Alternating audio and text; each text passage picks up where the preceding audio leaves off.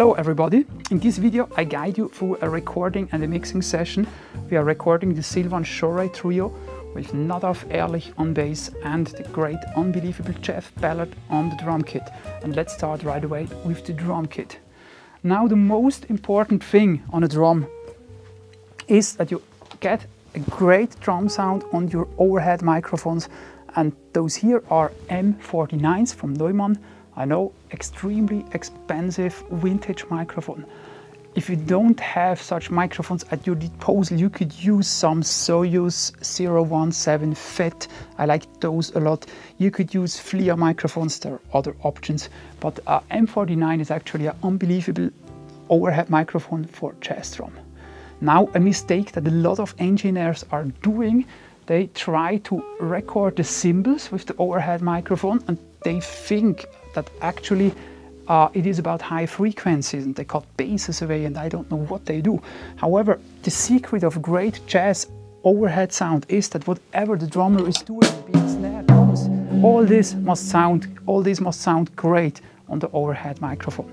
So to me, overhead microphone has nothing to do with getting cymbals right, it's about getting the entire drum kit right. And then even higher, we have over overhead microphones and in this room, they work really nice because they record the sustain nicely, they round it up. I like those mics a lot. It's Brüel & Kjær 4006.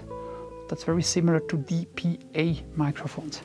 Then um, the spot mics are not really used a lot. Here is the snare microphone. That's a Soyuz 013 and I use a small diaphragm mic here because I just need a little bit precision. And if you uses the brushes it should sound nice. And there is anyway not a lot of place here. On the tom-toms we have the Sennheiser MD 421 also on the floor tom I use those and there is a lot of discussion about should you use dynamic microphones or condenser microphone. On a jazz drum, I usually prefer dynamic microphones because if you would use a condenser mic here, then you would have a ugly sounding bleed of the cymbals and then you can anyway not really use it. And if you use a dynamic microphone, the bleed of the cymbal is just really not so much a problem. And as we anyway use the overhead mic as the main mics, and we have the tom-toms great on the overhead microphones. All we need is a little bit attack. And then on the bass drum, finally, we use Neumann U47 FET microphone, which I always think that's a great bass drum mic. I like this a lot and yeah, that's really one of the best microphone for bass drum. And then the hi-hat, we forgot the hi-hat. There is just a Neumann KM80 for this little thing here, old one. I actually almost never used a hi-hat microphone in jazz because as I said our overhead microphone record the entire drum kit anyway. So actually you should not use the hi-hat microphone but maybe you never know. The guitar player composed like a, a more pop piece whatever. He maybe suddenly starts to play a trip hop beat. You never know in jazz jazz is everything and so I always have the hi-hat microphone just in case I need it, I can always blend it in.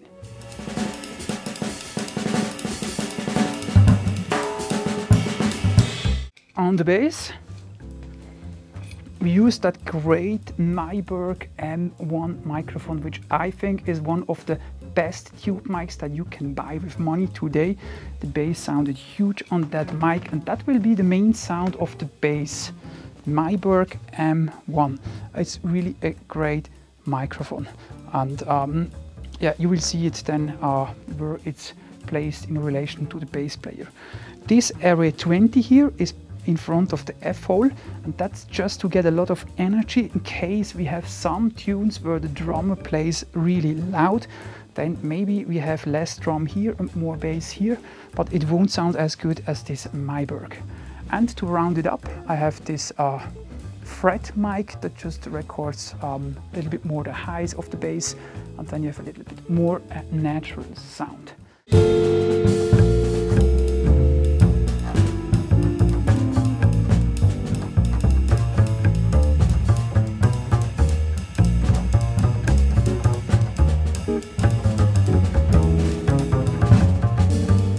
So here's the guitar amp. We separated that one with walls. We recorded with a B V30A bottle microphone. This is this huge long microphone that's actually also called Hitler bottle because Hitler used those microphones from 1928. So at the yeah, a very very early technology and it sounds just really really good. Um, because it's so old, I also placed a Soyuz small diaphragm microphone, so in case there would be any technical problem with the old microphone, we just have another one as a backup. And then we have a second amplifier in another room. So in that room here, we actually have a second guitar amp, a nice Fender twin reverb. That one obviously has a little bit more character than the other guitar amp. We recorded with a Royer because the Fender has a lot of high frequency content and with the Royer mic it's nice and warm. And most likely in the mix we will mix both amps together. So we have the neutral one from Silvan and we have the amp with a lot of character here and together that's a nice guitar sound.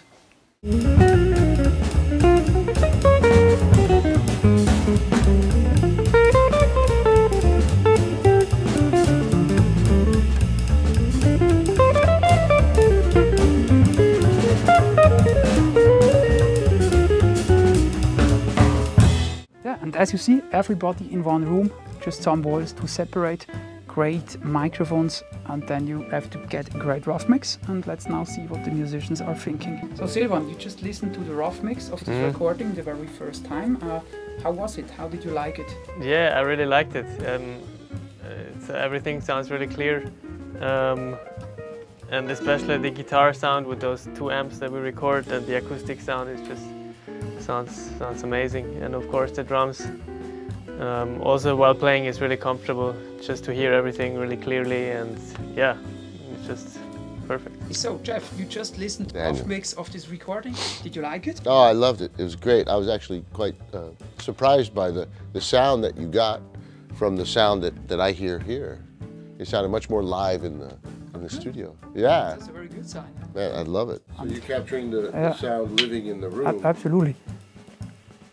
And then I enhance a little, little, little bit bass on those. Most engineers cut away the bass. I don't know why. I don't know what they are hearing because I mean, you need, you play the things and you need bass energy, you need yeah, size. Exactly.